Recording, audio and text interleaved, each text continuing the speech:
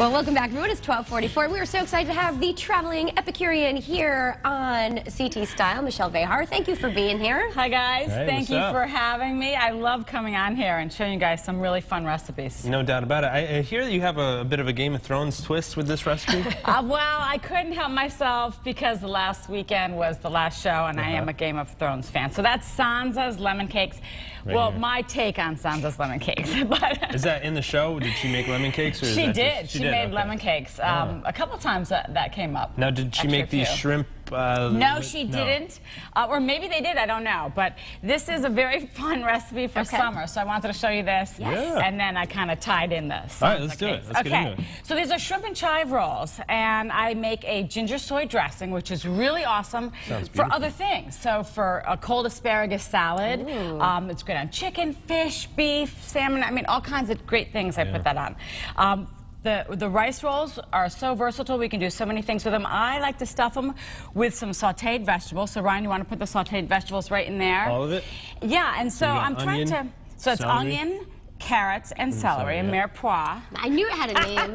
Mirepoix. we from last time. Oh, yeah. um, so that just gets sauteed just till it's softened.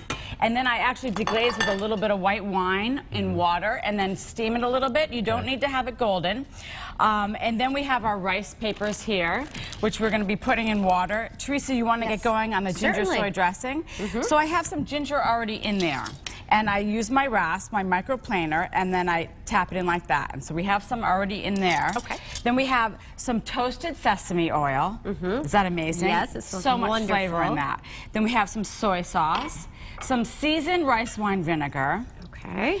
We're going to throw in some sesame seeds. You toasted those too? Yes, I did Look toast them. you. I So toasted them fancy. in fancy, my little huh? pan here. You can never walk away from that pan while you're toasting those because they will burn They'll on burn you. quick. So you just got to keep shaking it back and forth. And then some fresh lime. And then you just stir that up. Sure.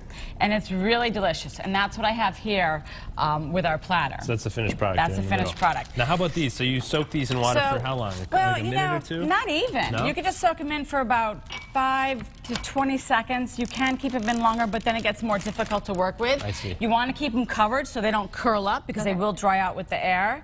So that's it.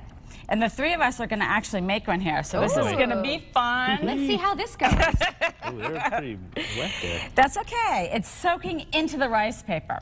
So now the shrimp I cut in half, just down the middle like Oh, that. watch those hands.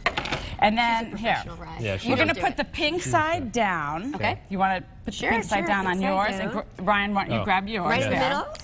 And then this here is the sauteed vegetables. So this was a copy of um, a Chinese dumpling I had in San Francisco. So that's how I came up with this recipe. You Sorry, can put Ryan. anything you want. That's what's so great about these. You can be totally creative. It's a fun, fun dish.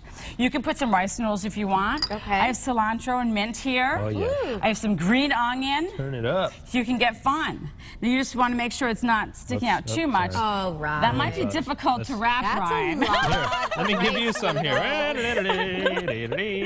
Okay, so I'm skipping that one. How do we wrap these? All right, so this is how you wrap them. So you take it each side Okay. and you fold to the middle. Fold to the middle. And like then a you burrito. take the, yeah, exactly, like a burrito. And then you take the other side and wrap to the middle. And then you take the bottom and pull forward. Oh, I messed mine up. That's okay. I think it's And still then you chuck stick. it under, and then you roll it, and then it looks just like that. Oh, hey, not too bad. And then you're gonna dunk in the sauce here. Dunk it up. Why didn't mine stay? Well, you know, and there, still you get eat it. so many of them in the package. It's okay because you If can mess just it up? throw it away and start all over again. All right, travelingepicurean.com. We'll find you on YouTube. How is it, Ray? Mm, no, it's real good. Yeah, that's what he said. Mm. All right, more style coming oh up. We'll be right back. Is that good? really good, right?